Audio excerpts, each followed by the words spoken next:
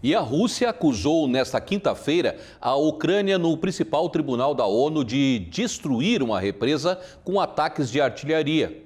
E acusou Kiev de dizer aos juízes mentiras descaradas. O representante de Moscou também usou argumentos como os do presidente russo Vladimir Putin na existência de neonazistas no regime de Kiev. A Rússia voltou a afirmar que a Ucrânia foi responsável pela destruição de uma represa em Kharkovka, a área controlada pelos russos no sul do território ucraniano.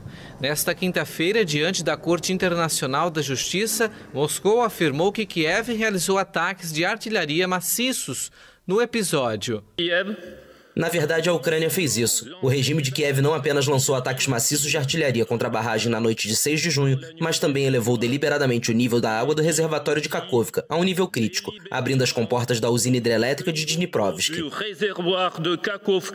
O diplomata russo questionou a autoridade moral do governo da Ucrânia que, segundo ele, chegou ao poder após um violento golpe de Estado em 2014, apoiado por nacionalistas descendentes diretos de colaboradores nazistas na Segunda Guerra Mundial e fez graves acusações.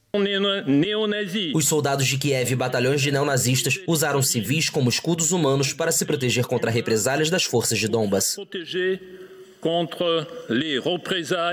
A audiência faz parte de um processo movido por Kiev sobre o suposto apoio da Rússia aos separatistas no leste da Ucrânia e a anexação da Crimeia em 2014. Moscou disse que o governo ucraniano insiste em mentiras descaradas e acusações falsas e pediu ao tribunal de Haia que rejeite o caso. Kiev afirma que a Rússia violou um tratado da ONU sobre financiamento do terrorismo e quer que Moscou pague reparações por ataques, incluindo o abate do voo MH17 da Malaysia Airlines em julho de 2014, em que 298 pessoas morreram.